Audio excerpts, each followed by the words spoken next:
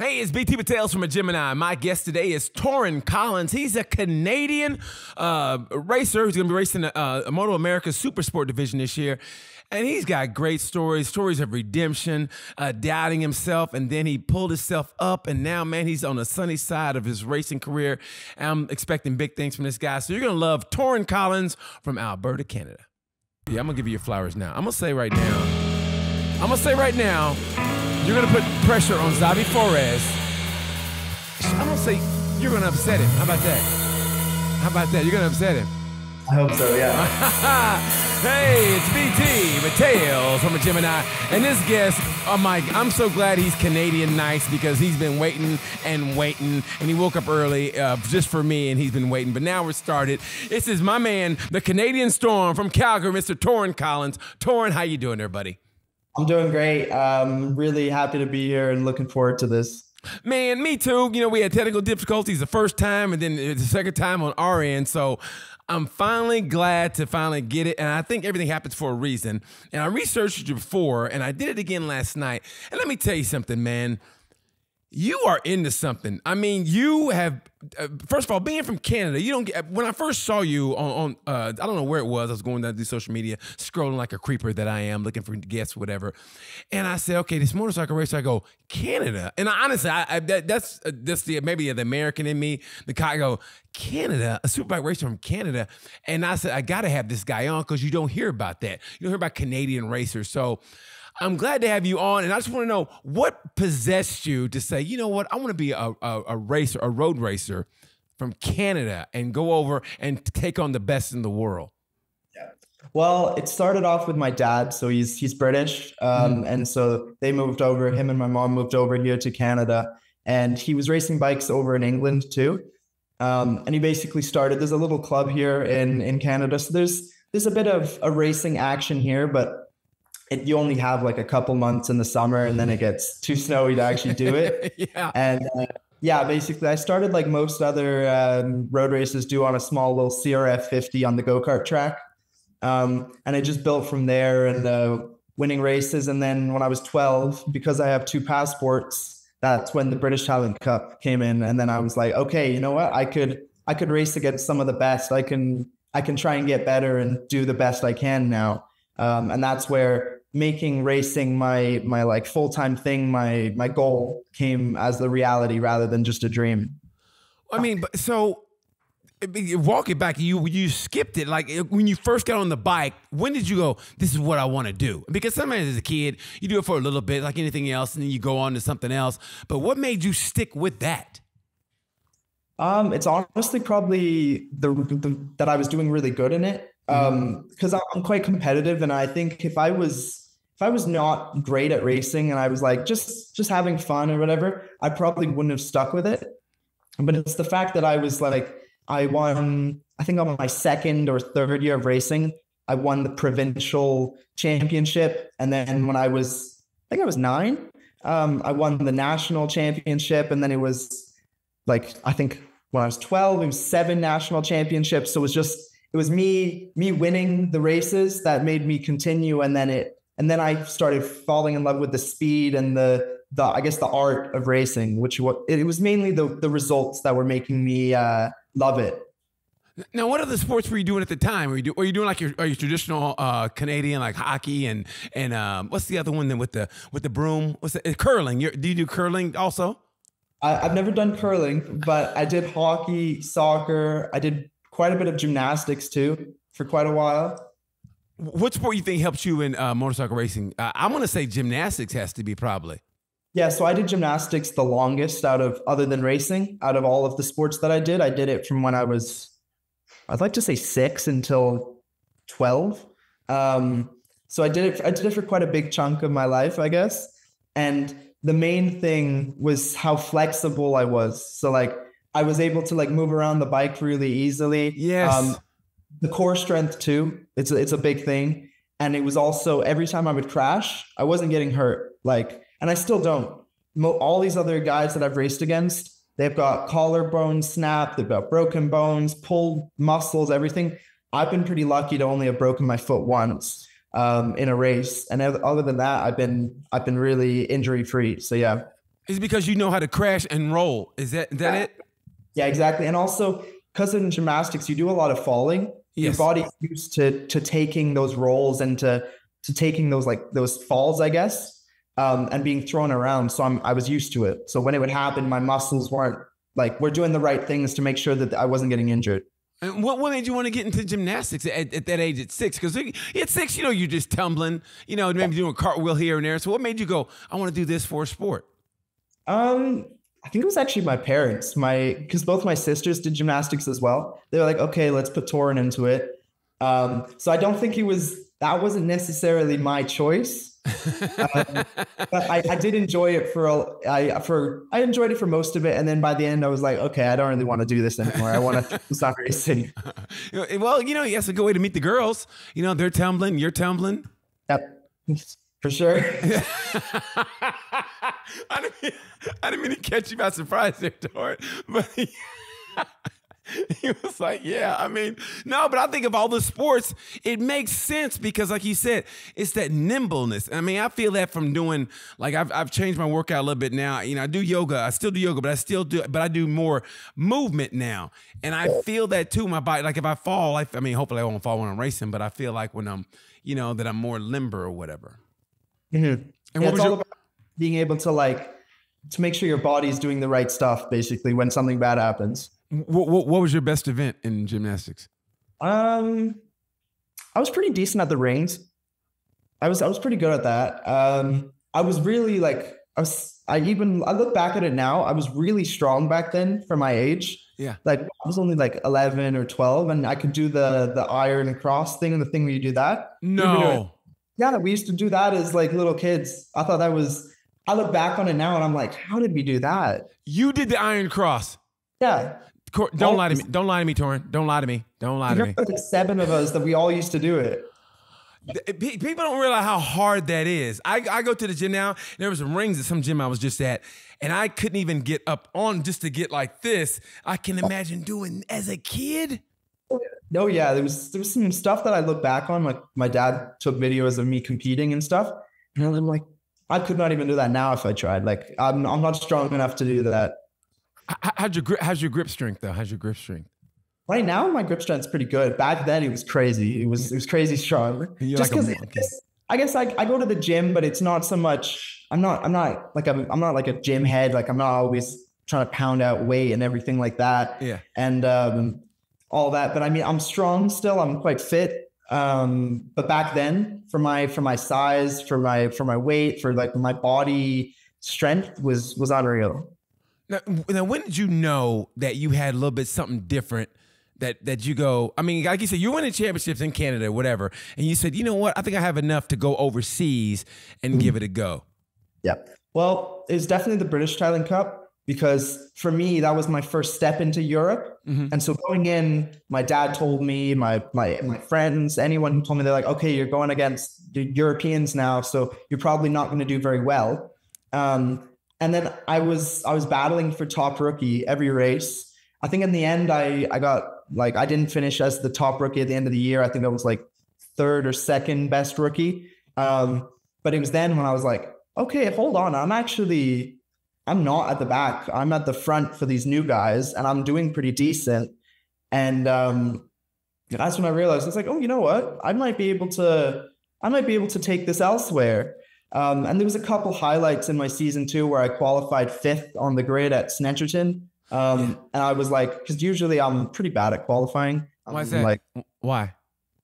I don't, I don't know. It's I've been trying to figure it out. Me and my dad, the teams I've been on, every time we're like, why can't I put in one fast flying lap? But as soon as I'm in the race, or there's someone right there, or there's like a carrot, I drop like a second, like it's nothing. And yes.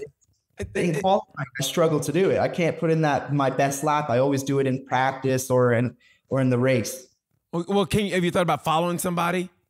Oh yeah, in junior GP, that's all you do. You follow. You're on someone's rear wheel every single lap of every single session. So, so even in qualifying, I mean, I know people hate that, but you just go, "Hey, I'm sorry, but I got to get the pole." So you get behind them, and Yeah, absolutely. That's what it is. And I think there's always drama with it too. There's always someone getting mad, someone giving you the middle finger because you're following them or whatever. But Yeah. everyone, everyone's doing the same thing. You you look behind you, someone's behind, someone's someone's on your tail. Yeah. In front of you, there's someone following someone else. You're following them. It's just a train of everyone trying to put in a lap over there. Have you ever have you ever uh, had to uh, drop the gloves, as they say in hockey, uh, over there in uh, racing? I know uh, they have what they call the red mist. I know you're Canadian; they call Canadian nice, but there's got to be somebody that pissed you off enough where you got pissed off and go, you know what? And you drop the gloves. You ever had to do that over there? I've never had to like actually fight someone. Yeah. But yeah, as much as I'm Canadian, I do have a bit of a short temper sometimes. I do I do I think the whole Canadian being nice thing, yeah, we're quite polite in our manners, I guess. Yeah. But when we're competitive, oh no, we're like we're probably not ni- we're probably one of the least nice, like I have to say, honestly. When we get mad, like the Canadians go crazy when you get mad. I love how he Yeah. said the least. He was nice saying they're not nice. He goes, "We're the least nice." I love that. He was. I love it. I guess when it's competitive, I Yeah. wouldn't I wouldn't assume for a Canadian to be nice. Well, who, who who pissed you off enough? Like going to the last red mist that you had that you just like you were so close, like you couldn't keep it together. You had to go, okay. who pissed you off? And what was the situation? It's not a particular rider. It's just there's so much shenanigans going on in junior GP. There's always there's always someone like doing something dumb, or you're on a fast lap and there's like four of you and you're all on a flying lap, and then some guy just decides, you know what, I'm tired. Let me just sit up in the middle of the track. And now we have to. And over there, one tenth is four positions. Like it's it's crazy. So one second of you having to move not in the right position, your lap's destroyed. You're like, you're like, okay, now I can't, um, now I'm not going to improve or whatever. So there's lots of times where I've been like, yo, what's this guy doing? Like, why is he just in the middle of the track? And I'm like, "Ah, I've, I've gotten mad and like, I've thrown my hands up. I've, I've given the middle finger to someone before. I've, I've purposefully gone extra close to someone just to be like, you know what, you're, you just messed up my lap. Let let me mess up yours. Wow, uh, really? It happens. It's it's surprising, but it happens more than you think. Like all those guys who in junior world championships, all of them can relate. We all we all have done something like that. We've all gone so mad at someone, someone who's a little bit slower than you or whatever. They're not even doing anything wrong, but they're just slower than you, and you catch them. Now, for some reason, you got so much anger towards this one person just for being a little bit slower than you. You're like, yeah, there's there's a lot of there's a lot of anger I've had in the past couple of years. I love it, man. Who is the biggest jerks uh, over there? Is, it like maybe it's just is it one like particular like maybe it's the Spaniards since they run everything now, or is it like maybe the Italians? I know they have a little temper, so or is it just the individual? Um, well, I don't want to like assume everyone, um, but it has to be definitely the Spanish, definitely the Italians, and the French. I'm not a big fan of the French, no. Um, like just as as the couple riders that I've I've ridden with, I've I've raced against, Yeah. not a big fan. Um, just they're they're like they're just I don't know. There's something about them. There's all all three of those countries. They're very confident, which is important. It's important to be confident Yeah. but they're quite arrogant a lot of the time. It's, it's because they're good. It's because they're fast that they, Yeah. they have the right to be arrogant and cocky, and they know that they're good and better than most of the people out there. And so that's that's that's just the way they've been grown up racing and everything. But it's yeah, it shows it shows in their riding a lot. It's a bit yeah. You, there's a lot of with the internationals, the Australians, the Americans, the the Dutch, the all of them. We all we all have a little bit of uh, anger towards the French, the Spanish, the Italians, just because they're they're so fast. so it's like World War Three on the track, huh? Oh yeah, oh yeah, for sure. So that being said, do you feel like that you uh, do you feel do you like the fact that you're carrying the mantle for Canada and maybe you can be the the the person that maybe kickstarts a little movement in Canada with road racing? You know what I mean? Do do you feel that? Um, yes, I, I wish though that I didn't live in a place that's so cold. Um, just You to know- make it easier for me, it makes it difficult. Um, we always have to travel somewhere new. We have to find a different place to go spin laps just because we're lucky if we get started up in April. Um, that's like, and it's going to be cold. It's going to be pretty miserable weather then. So it's usually June when you can actually start spinning laps. And that's just my season starts in April for Moto America. Yeah, uh, right. That's my first race, so it's it's too late for me. That's why we're going to Spain to spin laps. But to represent Canada, I'm I'm quite proud to be Canadian. I, I, make sure I show it off on my on my name, on my butt patch, my helmet, everything. There's got to be a Canadian flag. It's it's red and white. Um, see, I'm pretty I'm pretty happy to be Canadian and representing Canada, and it's it's good to help. There's a couple young Canadians too that look up to me, um, and that see what I've done, and they want that they want to do the exact same. And honestly, it's it's hard because they I don't think a lot of them understand the struggles and the difficulty of being over in Europe. Um, but yeah, I'm really happy and proud to be to be representing Canada over and overseas and in any situation. I'm happy to be Canadian. So you're basically like a role model to those guys, and you, I mean, you never realize it until, like you said, then they say something to you. You go, "Wow, this this person kind of looks up to me." I kind of, it kind of gives you a little bit more of a, of a, mm, you know.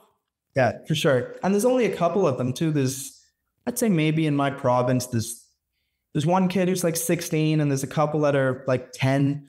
Um, and they're pretty, they're fast in Canada aspect.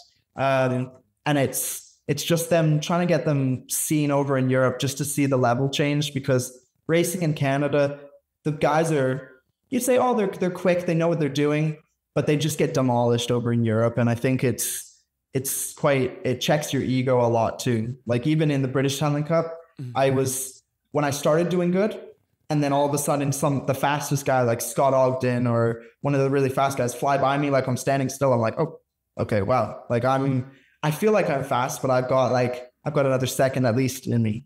Well, so, yeah. I, I, I, always say this. I always ask every racer this, and the best response was ever was uh, Sean Dylan Kelly. I said, "What was your best oh shit moment?" And for him, it was he said he said he was in Red Bull Rookies Cup, and he's just on it, and he's thinking, "Okay, I'm breaking, I'm doing well."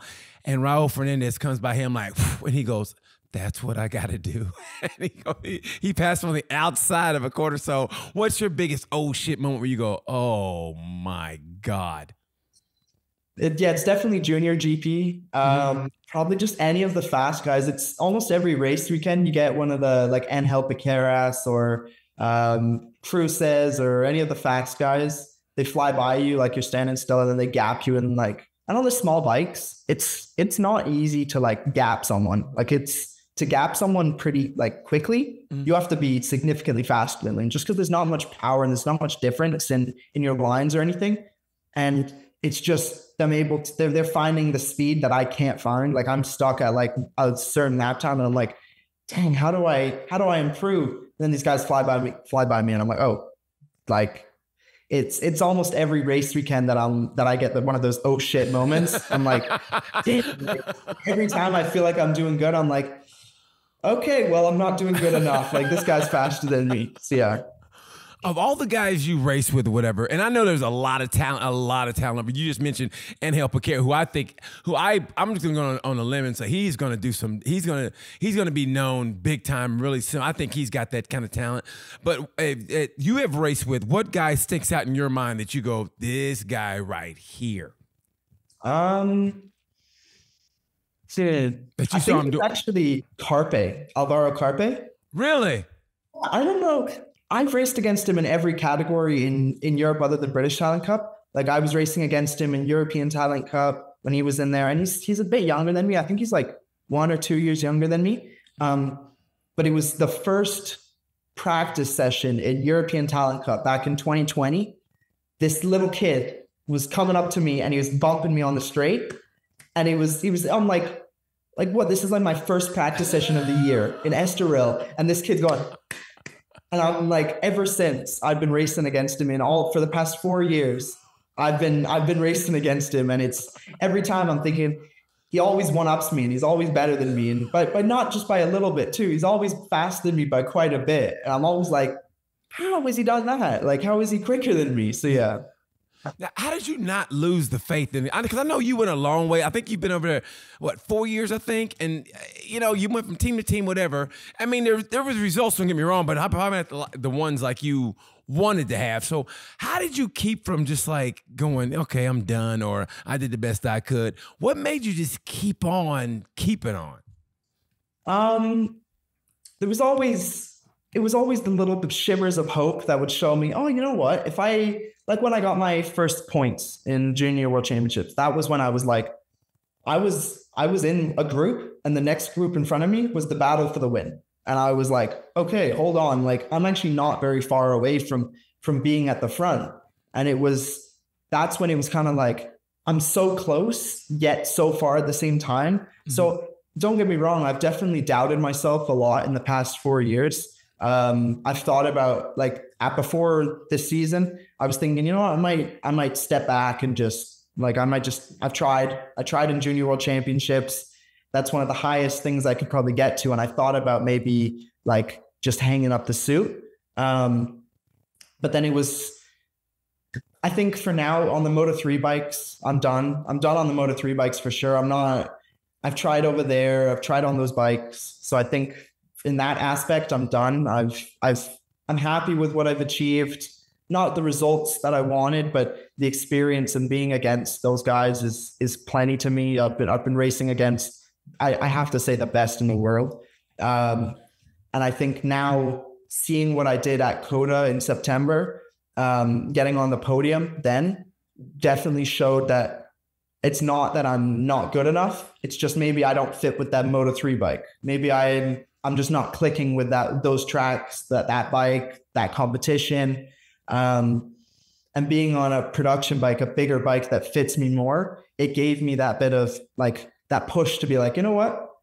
Let's try another year. Let's see what I can do. Um, let's see if I can put it on the box as much as possible.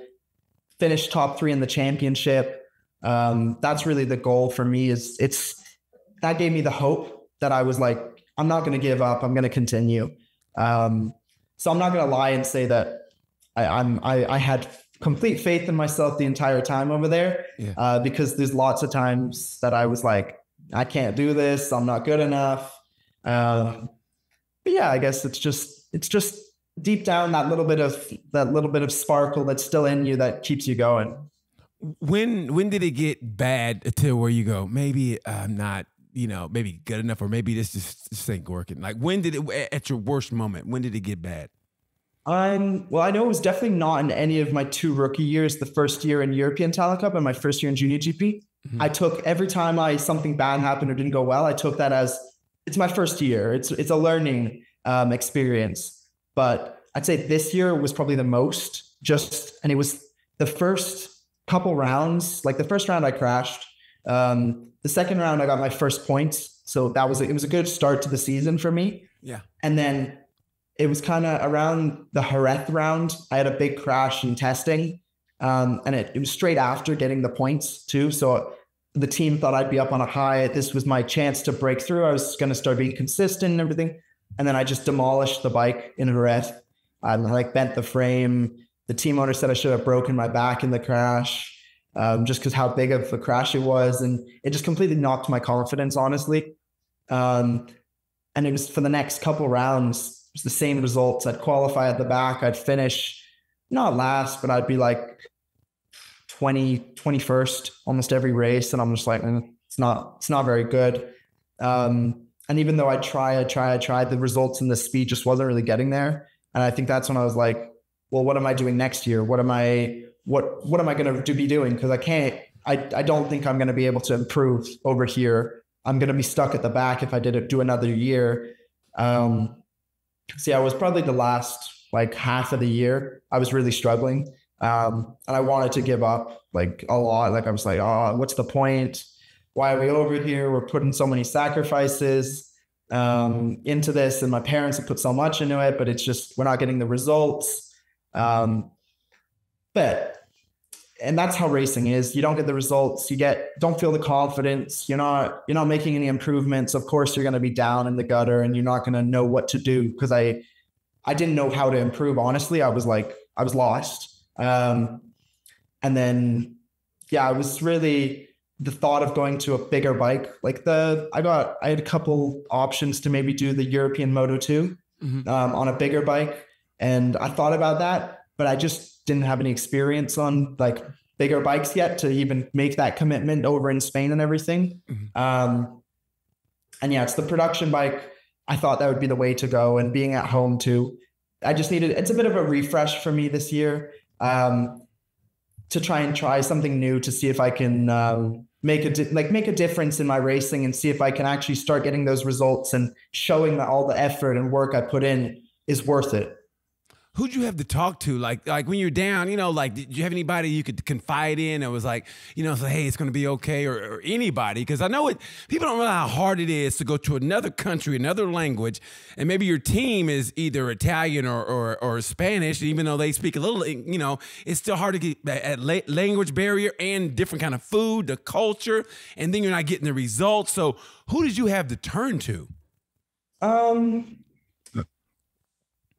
if honestly, I don't like when people tell me, "Oh, it's okay, you're doing okay" or whatever. I don't like that. I find that that actually annoys me a lot when someone if I'm having a bad race or like I'm stuck in this gutter and I'm like I'm not getting the results. Someone tells me, "Oh, it's okay." That actually makes me more annoyed just because I'm like, "Well, I'm not. It's not okay. I'm not doing well. Um, I need someone to be real with me." And my mom, she was there with me.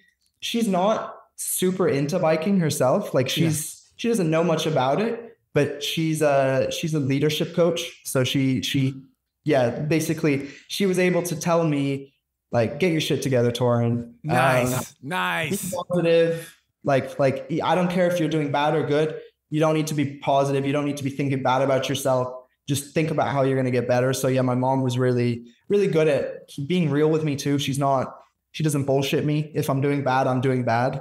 Um, nice. Which is actually how I prefer it, honestly. I like your mom. Oh, I, I like her. I, I do. I like that. Don't but you get your shit together. That's great, man. You you need that every now and then. A little little shake like this to get you out of that little you know rut. Yeah, for sure. And also my uh my crew chief was like that too. He I was with him for two years, and um the first year he was trying to be nice about everything. He's like, "Oh, it's okay. Don't get mad. Don't get frustrated." And then the second year he was like, "I'm not gonna lie to you. You rode like you rode shit. You didn't ride well. Um, how are we gonna what how are you gonna get better? Because on those bikes, there's only so much you can actually change on the bike. The rest is just yourself. Yeah. Um, and so yeah, he was very good at also being real with me. And I need someone to tell me, Torin, you're doing bad. You're not doing very well. You need to you need to basically fix what you're doing, and then we need to get the results right. And that's the him and my mom together were really helpful. Um, just even though even though was, we were still stuck for a couple of the rounds, that's what I needed. Um, I needed someone to tell me to be to be real with me and to tell me what to do. So um, yeah, shout out to Tony, my uh, my crew chief or my old crew chief. Well, here's what, and fast forward, here's what I think, and correct me if I'm wrong. I just think when you got the call or whatever to come over and do that wild card in at uh, at COTA, and you basically lit it up, and that had to that had to be the biggest relief and weight off your shoulders to tell tell you I have arrived. And yeah, I got the talent. I just like you said, I need a little refresh. Am I right on that? Oh yeah, absolutely. It was it was game changing, honestly, because I was I said to my parents, I, I I basically said before that race, um, I said if this doesn't go well, like if this wildcard doesn't go well, I think I'm done. Like I'm done racing. Um, and I told that to them, and there was a, there was a bit of pressure around it. My dad was like, "Yeah, there's, there's quite a bit of pressure on this wild card, by the way, Torin. Like, if you if this doesn't go well, then we're done, basically." So, um, so no pressure or anything. Um, and yeah, it was we were real with the goal. We were like, we we considered oh, a top ten would be, I like basically if you don't finish in the top ten, that's really disappointing, Torin. Um, like I was, I, if I didn't finish in the top ten, I'd probably cry. Honestly, I'd be like I'd, I'd be all, I'd feel awful. And top five, like everyone was telling me, oh, you'd be lucky to get in the top five for the like for the results. You'd be lucky for that. Um, and it was yeah, first practice top P five, and I was like, oh, okay, wow. Like I was like, I'm actually doing. Oh, this is pretty good, but it's just practice. And then Q one, and I was P three. I was like, okay, like I, I might actually have a chance at being on the podium. Um, and each time that I'd get a good result through that weekend, it was more more like weight off my shoulders. And i i felt i actually i think i felt like i was walking taller. Like i felt like okay like i i'm i'm finally for once puffing out my chest a little bit and and being confident. Not arrogant or cocky but actually being like proud of myself in what yes. i'm doing.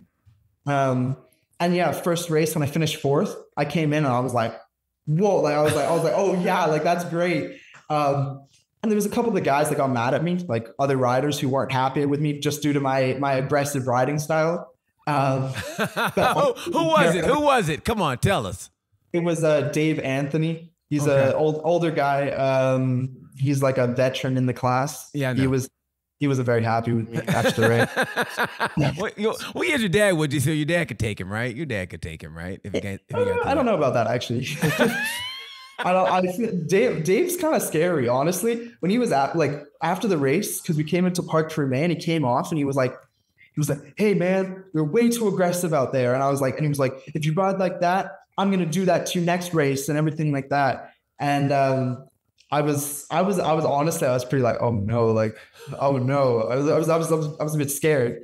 Um, and then, but I was a bit air. I was a bit like my dad said I was a little shit with the way that I responded.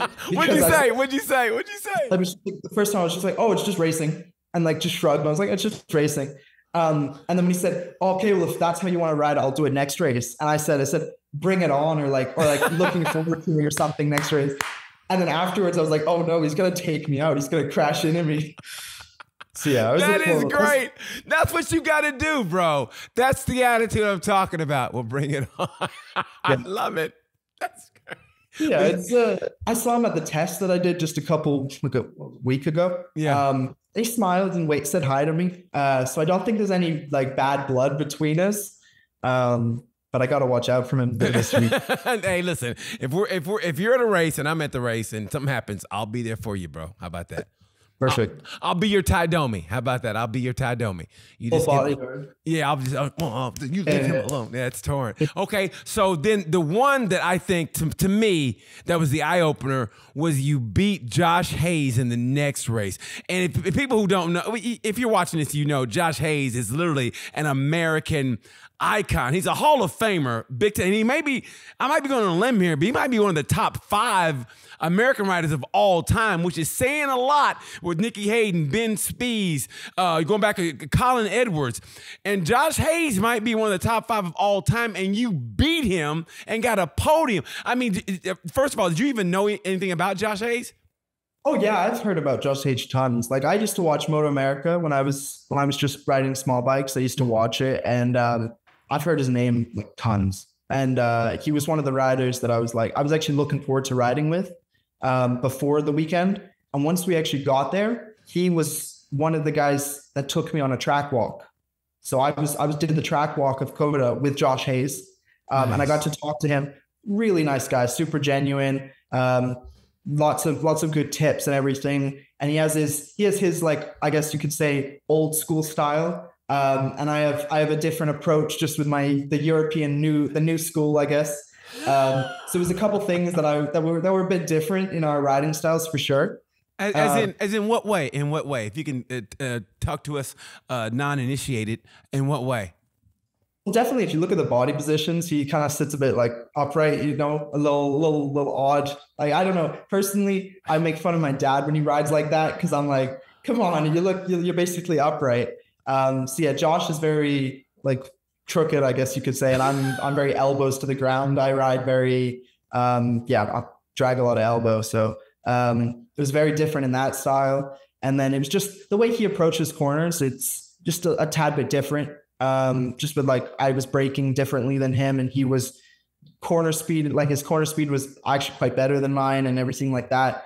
And it could be that he's been riding that R6 for ages. Um, and I was my like sec first or second weekend on the bike. Um, but after the first race, when I saw him crash, I was a little bit disappointed, honestly, because um, he crashed out of the race one, and I was a bit like, "Oh, come on!" Like I wanted to battle with you. Yeah. And then in race two, it was him and David Anthony again for the podium. Um, and yeah, it was great. I was in the moment. I see Josh as another competitor. I don't see him as the most winningest AMA rider ever that, that he is. Like I, I don't see him like that. I see him as just another competitor um, after the race, I was like, oh, wow, like I beat Josh Hayes. Um, I beat him fair and square. There was no, there was no, no aggressive pass passing that I pushed him off or he didn't make a mistake. I just, I just beat him fair and square. And um, he, he talked very good about me. Apparently, I've heard a lot of people. I didn't hear the. He got a, he got interviewed or something, and he said that I was the real deal. Um, so I, I I think that was very nice hearing that from Josh. Um, and yeah, a lot of respect to Josh. Like I'm, I, I, I like, I like him a lot. He's very nice. Um, and yeah, seeing some of the photos, there's a photo where I'm standing Josh Hayes up, like I, I'm in the corner and he's like this. Um, so we were definitely very aggressive with each other. Yeah. Um, which I like. I like how he didn't, he didn't try and take it easy or whatever with me. He was, um, and I didn't take it easy with him either. Uh, it was very, we were both very aggressive with each other and I liked it. Fair, but aggressive what I love, man, was the vi- it's the video where you guys are coming out uh, and uh, he does a wheelie. He's doing a wheelie and he looks over at you and you kind of look at him like uh, it's just beautiful. It's I mean it's you got to see. I can't if if anybody gets a chance go to YouTube and watch it. And the, the clip is maybe 11 seconds long, but it's so badass. I mean the way you look at him and he looks at you and he's as he's wheeling. Oh shit! And that was even qualifying too. Like it wasn't even in the race race that we got that happen. Yeah. It was in qualifying, and we were we were already battling in from the first qualifying. We were instantly we were exchanging aggressive passing. We were we were battling like it was the race from the first qualifying. So uh, throughout the entire weekend, we were we were building speed together. And yeah, that video was pretty cool. I like that video.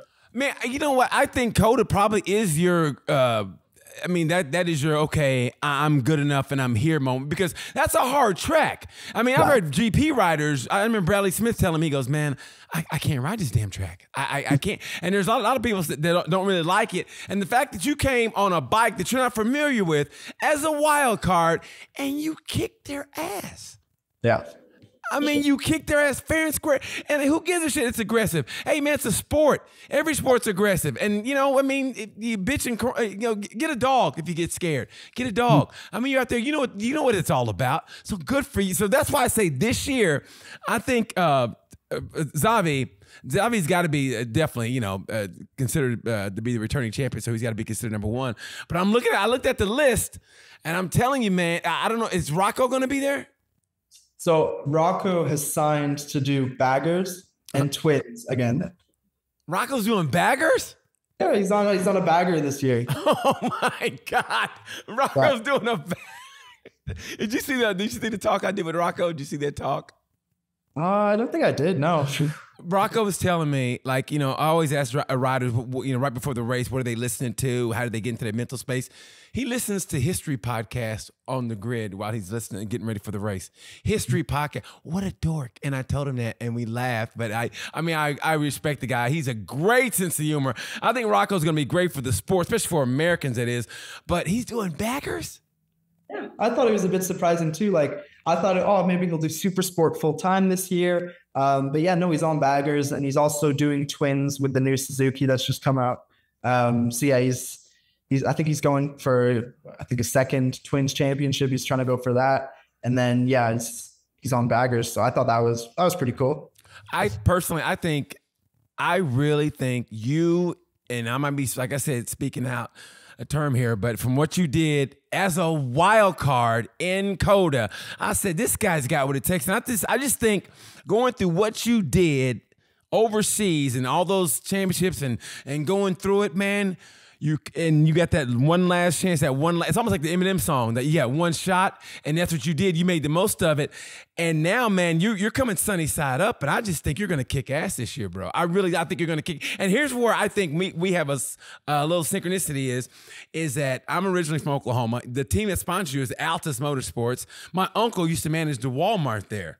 Yeah and you rode that GSX or uh, S750. When I when I got back to riding again as an adult, the first bike I had was a GSXR 750. So me and oh. you were kind of like this, bro. Yeah, hundred percent. Yeah, I, I, think so. But yeah. I really, I really think this year, I see you in definitely in the top three. Where do you see yourself? Um, I think well, I was looking at just some people who signed, like the the full official like uh rider list hasn't come out, but just seeing who signed PJ Jacobsen, he's in Super Sport now on a Ducati. Uh, Corey Alexander, he's on a Ducati. Um, there's Tyler Scott's always fast. They're they haven't announced the other M4 rider yet, so most likely they'll be quick as well. Um, Does that intimidate you? Those guys, the big names. Not really. It's just I know that they're going to be quick, so they'll be good competition. Uh, I know PJ's. I've seen some of the Instagram videos of him. He was doing a test just like a day ago, and he looks fast. He looks very fast on the bike. Um, so should be. I think if I can finish top three in the championship, I'll be super happy. Um, I want to try and be on the podium or at least in the podium fight every single race. If I don't finish on the podium and I finish like fourth, that's okay with me. I'm, I'm, I'll be a little disappointed, but I need to be. My goal is top five every single race. Um, be consistent, and then see if I can win a couple races. That'd be that'd be ideal. Um, but yeah, I think I think looking at the the the people who are probably going to be in it, it'll be a bit tough to be on like to be top five, top three in the championship. But I think it's quite possible. What um what does Xavi have that sets him apart for all the other riders that you think it's hard for you to, that you would be hard for you to beat him? And do you think you could beat him? I think it's the experience that he has. He's just he's been everywhere. Um, he's been everywhere and he's been successful in almost everything he's raced in. Um, so it's just that um, it's just it's just he's got he's he knows what he's doing. Right? He he knows he's been in almost every single situation before.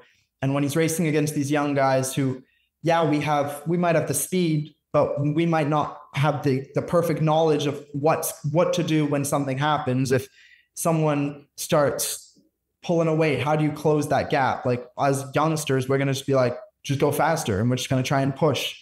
Maybe Xavi like he knows what to do. Um, so yeah, that's basically he just he just knows what he's doing. And I don't I I don't know if he's signed again for another year, but if he has, then it's gonna be he's gonna be quick. Man, I, I think it's going to be a great year. I, I might just get the Moto America uh, package just for you, just for you, and maybe, maybe for Rocco, but just for you because I want to see you get that super sport. I really, I mean, I love PJ. I think PJ is great. I thought he should have got more pub when he was over in World Superbike. Uh, he should have got more pub. He's a great rider. But man, I think what you're doing is fantastic. I, I, I love it. I love your mental space and your in fact your mom is a leadership coach. That has to give you a leg up mentally. Oh yeah, for sure. My mom, um, she really values the mental aspect of racing, which a lot of a lot of people don't. Um, like she was really, she, my mom was really big on getting me a mental coach um, for when I was in junior GP. So I had that as well um, for a little bit, and like uh, someone to talk. Like uh, we had a had a guy I used to talk to like outside of racing um, to just help me not so that nothing outside of my racing was going to affect me. Um, and it was just purely going to be me on the bike, no, no distractions, no problems, just what I can do. Um, so my mom, she she thinks it's very important to be mentally prepared, mentally ready, mentally strong, because that's the oh yeah the physical side. She says the physical side is forty percent of it, and the mental side is sixty percent of it. Well, uh, well, uh, now easier said than done because how old are you? 19? 18. 18. Okay. Okay. So you're a teenager, and don't get me wrong. I mean, I know you're in you know athletics, whatever, and you can be focused on what you got to do. But hey, we're all human, so there's got to be times when you're off the bike, and let's just say it's a Friday night, whatever, and it's off season, or or maybe even in season, and you're like, hey, you know, hey, what do you like to do to to let loose, and how do you make sure you don't let loose too much to where you're losing focus of what you got to do? Because you're 18, you, I mean, you you like, uh, I know you, I don't know if I should put it out there what about your per, uh, personal business. We talked off air, but I mean, let's say like you know you like to go out and meet people or whatever. So like, how do you maintain that focus but still have an actual life?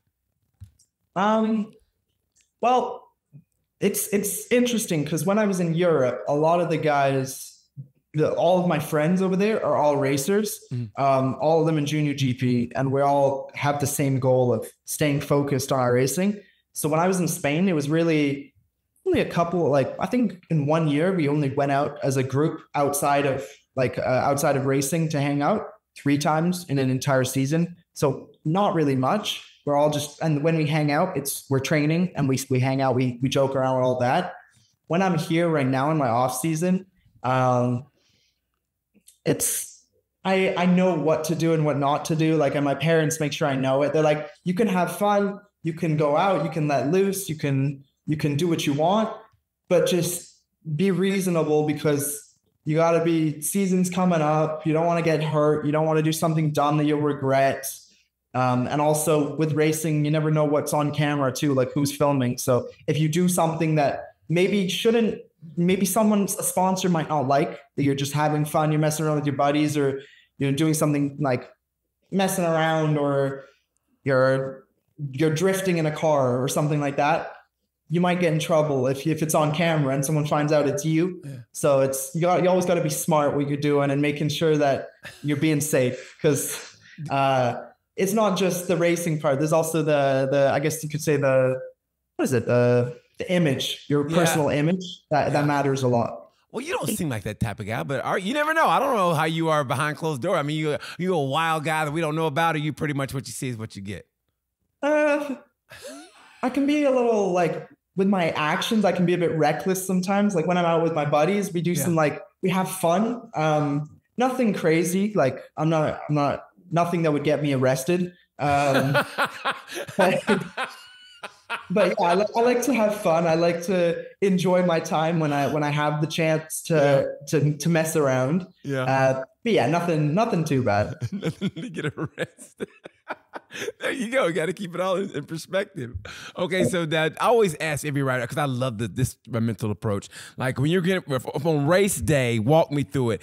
How are you different during race day? For the moment you wake up, do you do you are you superstitious? Do you put one sock on, then one sock, you know, whatever? Or are you underwear on first, and do you stand up when you do it? Do you sit down? Does the right sock go on first, and then you get on the grid? Do you listen to music, or you or you don't like people to talk to you, or are you joking around? How are you on race day?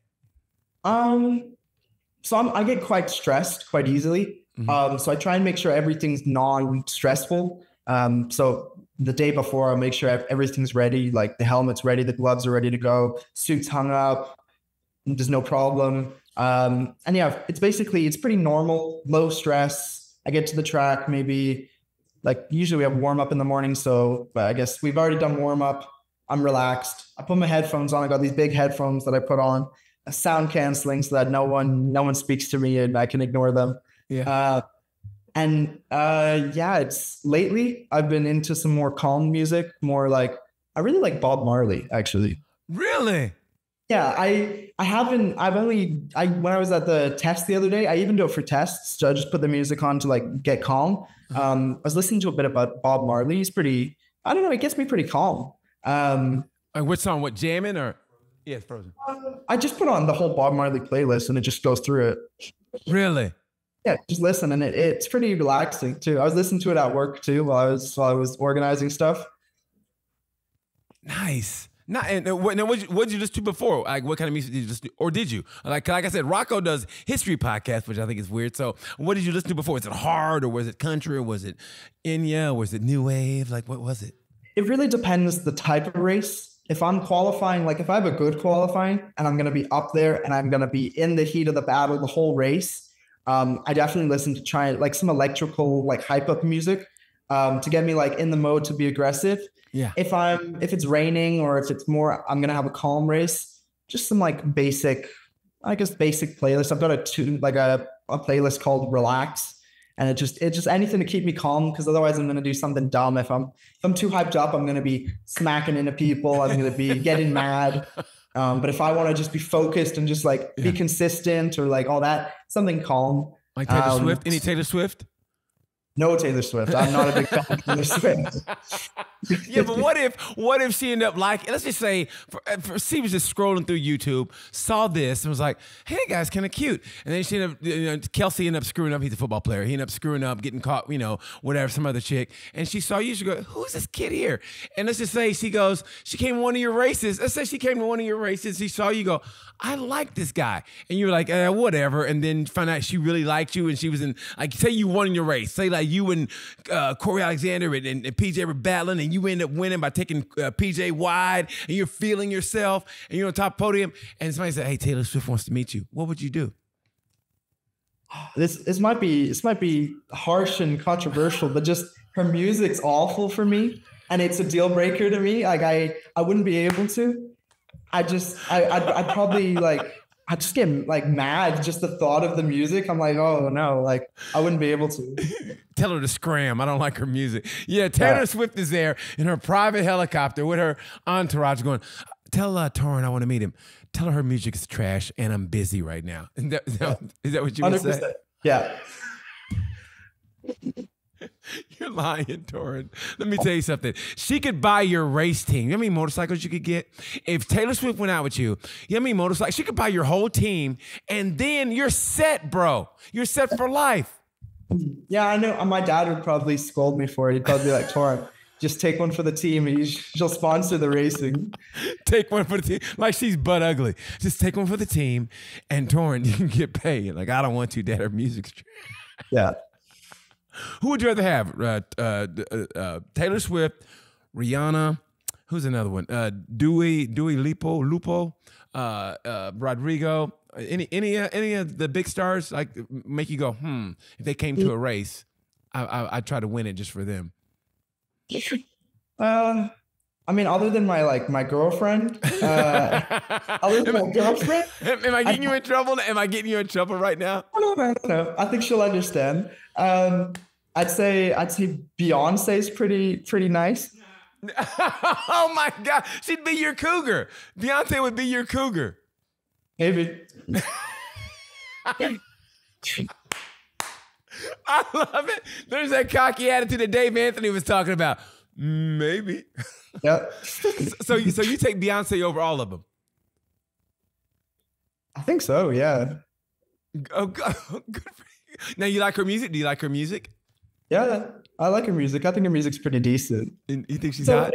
it's not it's not something I'd listen to on the daily, but um, I think my mom liked quite a bit of Beyonce. So I mean, I've listened to it a bit, and it's it's not it's not like uh, it's not painful to listen to. You think she's hot? You think she's hot? For my girlfriend's sake, I'm gonna say I'm gonna say no. that pause just gave you away. Anytime you pause, it gives you away. It's like it's like when you get pulled over by the cops. You been drinking? No. so you- You're gone straight away. yeah. Listen, first of all, man, if your girlfriend's listening, she's watching. I, I'm just asking these questions, sweetie. I don't want you to get mad at me, and don't get mad at your man. These are just fun questions. He just really mm, with you. And where'd you meet her at, by the way? Is she an athlete or anything, or how'd you meet her? Um, well, she the high school that I was supposed to because I did online high school. Um, I was supposed to go in person, but then I chose online. She went to the high school that I was supposed to go to, basically. So where all my friends went, all the people who I grew up with, that that school, she went there, and so um, I knew her from that aspect. And then we talked on Instagram for a little bit, and then yeah, Oh man, that's great. Dude, I mean, I mean it from the bottom. Now, does that help you in a way? I mean, does it alter your focus though sometimes? Because sometimes the right person in your life is such an asset, but man, the wrong person can bring you down worse than a bad bike or a bad crew chief. So yeah, I mean, how does that eh, how does that help you as far as racing goes? I. Well, I made sure like before we started dating, to like she knew that I was racing, and I said, "Hey, my priority is going to be racing. It's it's always going to be racing." Um, so I, need we need to make sure that there's not going to be any problems, and that when it's race weekend, I need to be focused and I can't be distracted. Um, and she's very understanding about that. She she prioritizes my racing too. So if if it's race day or race weekend, then it's very there's no problems. We don't we talk a little less just so that we um I can stay more focused. Um, but it's never it's never I've never had a problem with it, and we've it's worked perfectly. And if anything, it does help me just having someone that I can um, talk to not about bikes because I, I like to at the end of the day of riding I like to just bikes are done. Like I'll, I'll dream about it. I dream a lot, so I, I'll be thinking about my riding then. But once I'm away from the track, I don't want I don't want anything to do with bikes. I want to I want to I want to get it out of my mind. So talking to her about just random stuff really helps. Now, do you use visual visualization as part of your process to get mentally ready? Oh yeah, for sure. I um sometimes you know some people do the, like the closed eyes and moving their body. For me, it doesn't that doesn't work as much. I feel dumb doing it, honestly. Um, I'd rather just I'd rather just like close my eyes or just like think about it because I can think about stuff while my eyes are open. I don't have to close them to to be focused. Yeah. Um, I think I personally I think that's a bit over the top doing the whole thing. I think that's a little a little weird. I see people doing it. I'm like, you could just be thinking of it right now. You don't gotta you don't have to do all that. Um, I'm gonna I'm gonna tell Philip Earle you said that, and he's gonna come looking for you. How about that? I'm gonna tell Yeah. Philip Earle you said that. I mean, I understand like kind of, but I think like it's like it's the same thing as thinking. If you're racing, you just think about it. And like I'm like right now I'm thinking of Valencia laps. Like it's it's as easy as that. I can be talking to someone and I'm still I'm doing the laps, the lines, the everything, and that and that works for me. And I dream like a lot. Um, like I've got a very, I guess you could say, creative mind. So um, when I'm asleep, I'm not sleeping peacefully. I'm thinking about the riding. Um, sometimes it gets annoying because I'm like, oh, I, I like I'm I, I I slept for like eight hours, but I feel like I haven't slept at all just because I've been thinking about it the whole time. Um, but I every time I sleep and I wake up the next morning, I'm significantly faster. I'm better rider just because I've been able to to take it all in and think about it. Now, if you weren't doing this, if you weren't racing, whatever, what would you be doing? If you didn't uh, fall in love with, the, if you didn't fall in love with the bike life, what would you be doing? Honestly, I've been interested in like a little bit of American football. Um, like my friends played high school football, and it honestly looks pretty fun. Um, because something I, I wish motorbiking had more of is I guess the team the teamwork the team celebration because yeah you celebrate let's say let's say I was say Jake Lewis is my teammate this year right mm-hmm. if I got on the podium or I won the race and he didn't my side of the team would probably celebrate and some of the team would but his side would probably be a le- little bit like disappointed if he crashed or something versus if a football team wins everyone on the team is celebrating um, and it's your teammates aren't really your teammates a lot of the time. They're they're your biggest competition. Yeah. Because it's let's say if if I'm if if Jake wins every race this year, he's the face of Altus, um, versus I'm like he's the number one or something like that. So everyone's trying to be the best on their team because it, it's it's I don't it's a natural thing for races. Rule number one: be your teammate. Um, it's you always try and be your teammate no matter what. So I guess I wish there was more of a, a team aspect. And that's why I'd probably do football or soccer or something that the whole team's involved because it's just that atmosphere is is is something I, I wish racing had more of. The whole the big group celebrating, cheering, the loud, everything like that. Racing's very individual. So are you looking forward to like I mean I, want to get into your goal goals, but is your the goal is it to come in, kick ass here in the super sport, win it, and go back over to Europe and show them, hey, I, I'm I'm bigger, stronger, faster? That was, I think that's right now. There's a couple paths that I could do. Um, if let's say I everything went perfectly, I did amazing in this year in super sport. We could either try and consider world super sport mm-hmm. um, and see and and try and go to the production side of world championships, or go to European Moto Two. Um, and try try doing it on the Moto 2 bikes and see that's back to a GP frame. Um, so it'll be again, I'll have to get used to that. Um, but I, Right now I think I'm trying to put those goals to the side and just focus on this year and see what I can do. Um, because yeah, as, as you know, everything was expensive, and um, if I'm not on the podium, if I'm not winning races, there's not much income for for me and my racing. Um, and so basically, it's really important that I do well this year so that I can fund whatever I'm gonna, whatever my plans are next season. Now, are you gonna live in the states or still in Canada for the season? I'm gonna live here, back in, still at home. Um, and I'm, I think we're flying to most of the races.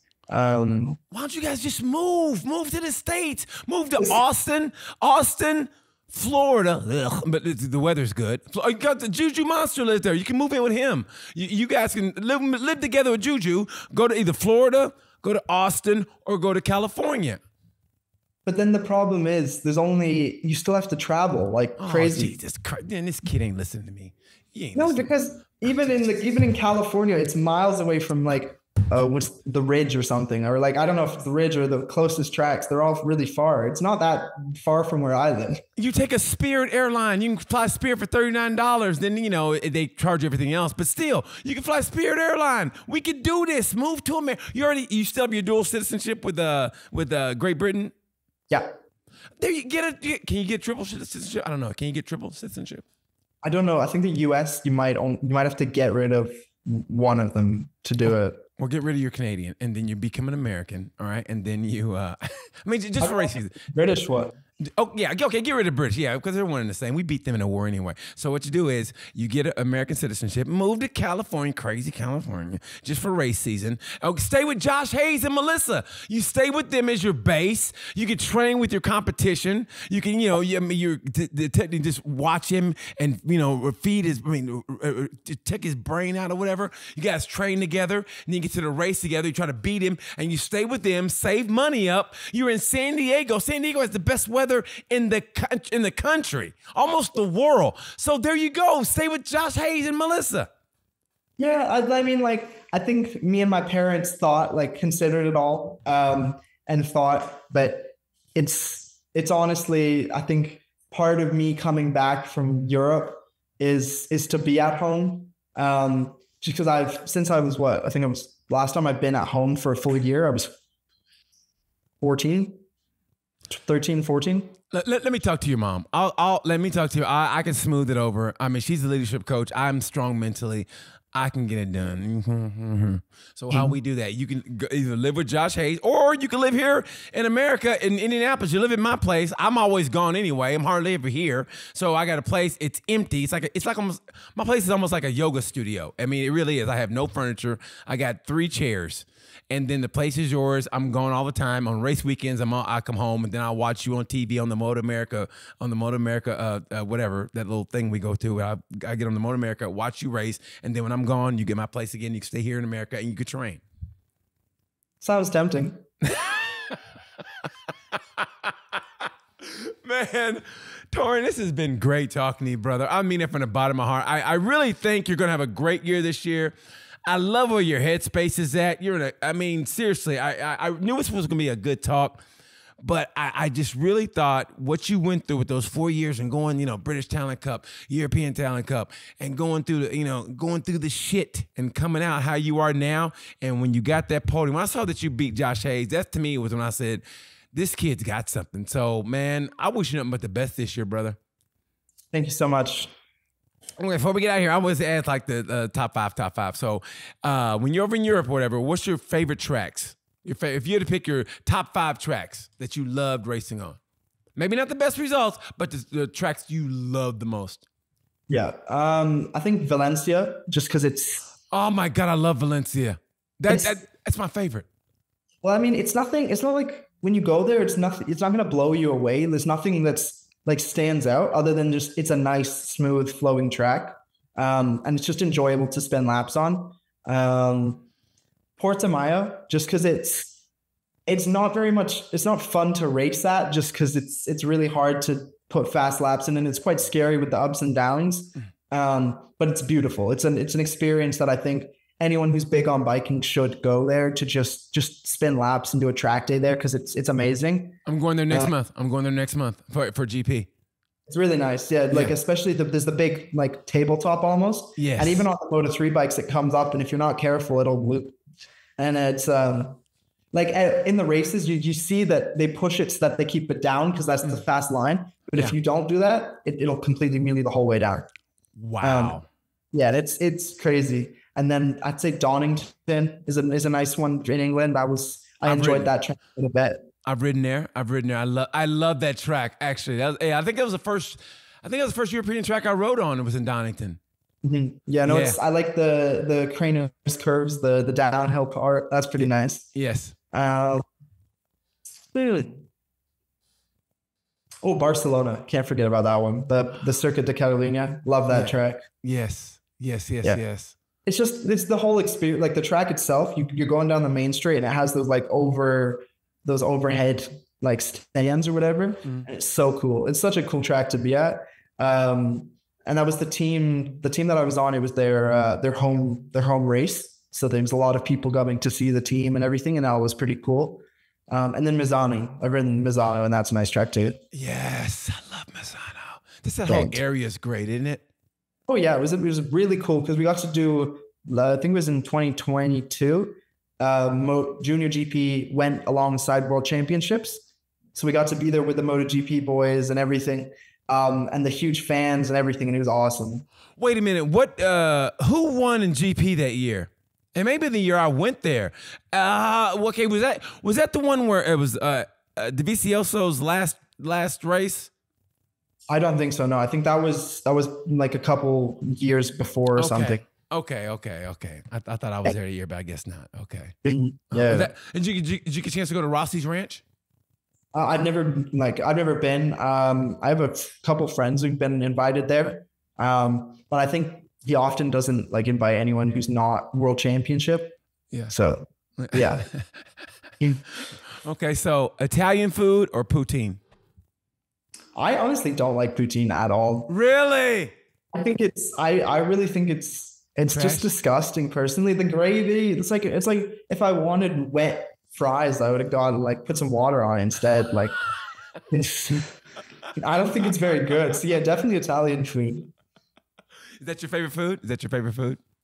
Uh, I like Asian food. Like I um Yes. I like I like Filipino food. That's pretty nice. Uh, okay. Uh, I I say I like pad thai. It's like I like Italian food and then pad thai and then hibachi. Eh, I'd have to say Filipino food, pizza in particular, not just all Italian food, but like pizza, like a good pizza. Yeah. Um, not North American crap, like like proper European Uh, pizza. yes, yes, Uh, yes. And then sushi. I think you can't go wrong with sushi. What's your favorite, favorite roll? Favorite sushi roll? I'd say tuna. I think you can't like just a nice tuna, the one with it's just rice and then tuna on top. Okay. Like uh, not the proper roll, but just like the little, you know, I think that's pretty nice. Okay. Okay. Okay. So uh, okay. So in five years, where are you going to be, Torin? You're only going to be 18, 20. You'd be 23 years old. Where do you want to be at, at 23? Where do you want to be? ideally i'd like to be in europe racing in europe um, whether it's in year maybe i i say like world championships a bit of a push i i, I think that's a little far-fetched um, i'd say world super sport is a like that that's a realistic goal to be racing in that or just in that championship like with world superbike um, i'd say that's quite realistic um, so i'd say probably there probably based out of somewhere in europe for sure I I'd like to. I'd like to live in France. I feel like that would be nice. Even though you hate the French riders, you want to live in France. I don't hate like French people as as a total. It's just there's a couple. I think there was like two or three of them in junior GP that I just didn't like. I just was not a huge fan of. I just, I just, no, I'm just. It's kind of rubbed me the wrong way with them. After that, I was like, okay, you know what? I don't want. I don't want to interact with them anymore. Now, well, where in France? So where? Paris or or Lyon or? Um, it's not not in a city. I want to live like a little bit in the countryside. Um, I feel like that would be more enjoyable. Just it seems like a pretty nice, fresh country. I, I I I love France. I mean, I only went once. I want to go back again. I want to go to Le Mans, but I don't know if I ha- have the chance to do it. But I I love had a good time in Paris. It's almost stereotypical. The food and everything was just great. I think that I think living on the uh, the uh, the French countryside would be awesome. Oh yeah, it's I. We have uh, some family friends that live in the countryside over there, and we've been there before. And I haven't been since I was really young, but I I still I still when I think of it, it still reminds me of like the nice the nice big fields, the open space to run around, do what you want. It's it's nice. Are you so you like a Canadian country boy basically? I wouldn't say I'm country. Uh, I'd say I'm like, I live in Alberta. It's like, it's basically like the, I guess you could say the Oklahoma of, of, of Canada. Yeah. Yes. It's pretty, there's a lot of, there's a lot of country kids around here. I'm pretty, I live in the suburbs. So, um, yeah, but you see a lot of people with cowboy hats and cowboy boots on and all of that. So, 'Cause yeah, the rodeo. big- yeah, for sure. There's like the, the Calgary Stampede is really famous. Um, so yeah. I'm glad, I'm glad you said Oklahoma because I grew up born and raised in born and raised in Oklahoma, and I just remember riding my mo- I could ride my motorcycle anywhere. I was a kid, and we had like a I rode in the church parking lot. It was catacording us, and my in my uh, yard I had two backyards, and and there was a side yard, and I had natural whoops. Like it was the weird because the the way the ground was like this. So so every time I would watch Supercross, and I go outside and I could really ride like they did because it was natural whoops and it was I had the greatest of both worlds. So yeah, a lot of land just to ride motorcycles in. That's the greatest thing in the world you can do, man. I, I think that's in my in the, my ideal in the future is when I'm older to have like a, a plot of land and just just be able to ride, build a little track, like a little something. I know Jake Lewis has a has like got a like a flat track situation with like jumps and everything in it in his back garden. I think that's crazy. dude, you got to come down to America, man. We got to hook up. I mean, seriously, I, I are you guys gonna? Uh, only the baggers are racing against with MotoGP and COTA. So uh, if you get close. I'm gonna try to make it down to a, a Moto America race. I, I really want to see you race in person, man. I think you have a lot going for you. You're a, you're a great talk to, man. You're a great. I want to get more out of you just out of the I, other than racing part. I, I think you would be a lot funnier, man. I love the Beyonce line you got. I don't want to get you in trouble though, but seriously, I wish you nothing but the best, Torin. I think you're gonna have a great year. Altus Motorsports, I think it's a great uh, a great team to be a part of, man. I think you're going to do uh, big things this year. So, anything else you want to say before we get out of here? Um, just thank you so much for having me. Oh man, don't be Canadian nice now, man. You're dude. You, you, you seriously, you're worth it, man. I'm glad you were uh, uh, gracious enough to do this again. We tried it before. We had a bad internet hookup where he was, and then you came back. I thought you were giving me the business, but you were man of your word. And you came back, and man, thank you so much. I appreciate it. Thank you so much. Uh, tell your girlfriend I'm sorry if she gets pissed off. Tell her to get pissed off at me, not you. You're a great guy. And uh, by the way, what'd you get her for uh, Valentine's Day? What'd you get her? I got a big bouquet of flowers and a, a teddy bear. you big softy. All right, well, good for you, man. So I hope she doesn't watch it, but if she does, it's my fault, sweetie, not his. It's my fault. I'm the one that asked the question. So thank you, Torin. I appreciate you, man. Good luck uh, this year. I mean it from the bottom of my heart. Thank you guys for watching Tales from Gemini. I'm BT, and like we say about this time, you know the word. Peace.